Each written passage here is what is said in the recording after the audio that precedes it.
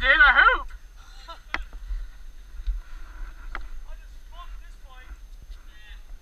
He drained it out. It's going to be a little bit.